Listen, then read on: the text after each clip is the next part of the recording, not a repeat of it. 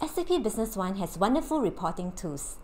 There are many inbuilt dashboards, and in addition, you can create your own reports with the click of just a few buttons. Let me show you the analytics within SAP Business One. So when you click on this button, Pervasive Analytics, it actually shows me all the analytic capabilities embedded within SAP Business One.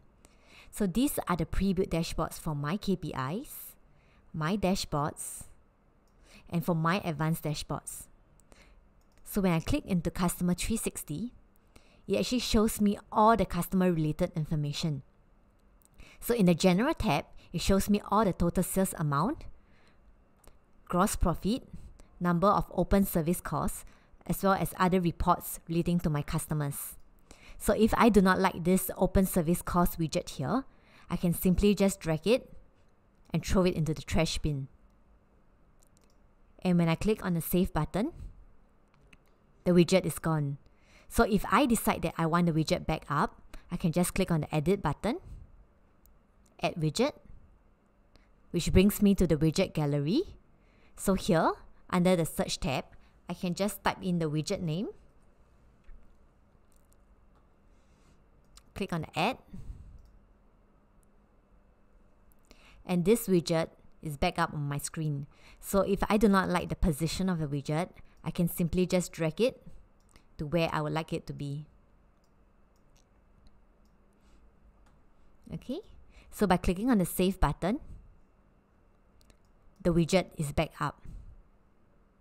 I can actually also view my customer 360 in different angles, such as by sales, by order fulfillment, as well as receivables. I can also filter it by customer.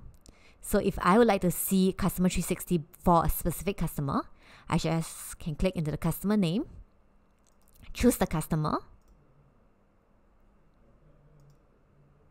and under the general tab, I can see all the related reports pertaining to this customer. I can also see it in different angles, such as the total sales uh, report, fulfillment, as well as receivables.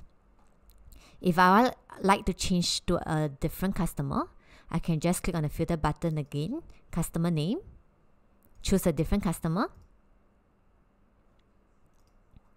and I can see all the information pertaining to that customer. So this is the Customer 360 and the pervasive analytics function within SAP Business One.